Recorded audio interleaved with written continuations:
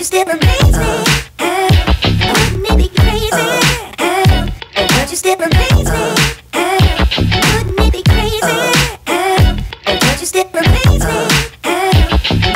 crazy. Uh, uh, Would you still amaze me. Yeah.